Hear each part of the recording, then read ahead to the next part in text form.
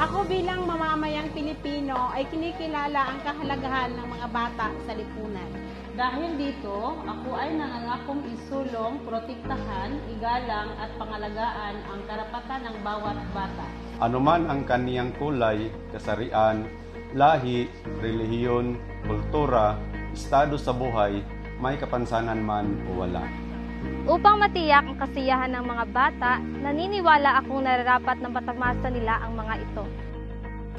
Maisilang ako at magkaroon ng pangalan at nasyonalidad. May pamilya ako nag-aaruga ng tama. Maninirahan sa payapa at tahimik na lugar. May sapat akong pagkain at malusog at aktibong pangangatawan. Mahubog at mapalago ang aking mga kakayahan sa pamamagitan ng edukasyon at pakikilahok.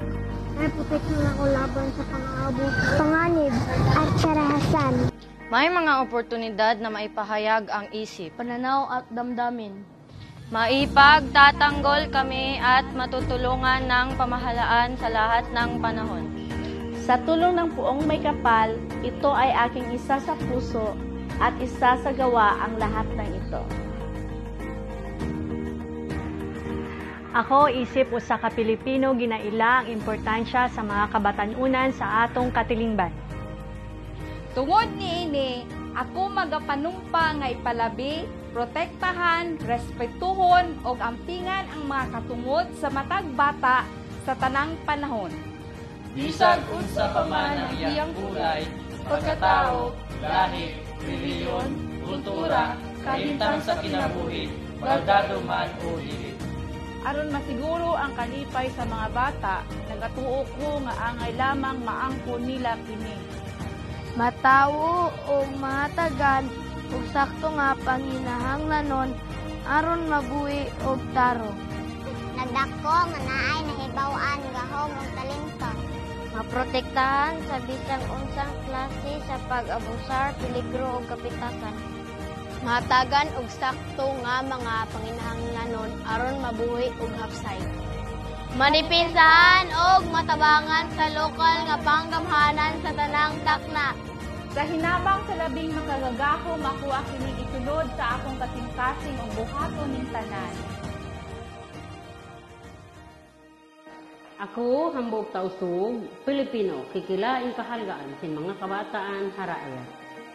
Pasal sin ini, jumanji ako, ipamahalayag, ayaran, pag-andatan, iwan ayo putunin kapatutan sin mga kabataan. Sa umol wakto, minsan uno pa in pagkataon niya, pausog.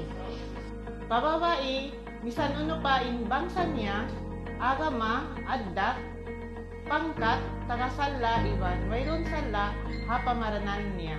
Amuin matantuin kakuyakan si mga kabataan, iwan himakahangad ako, wajib madawhan nila in mga ino.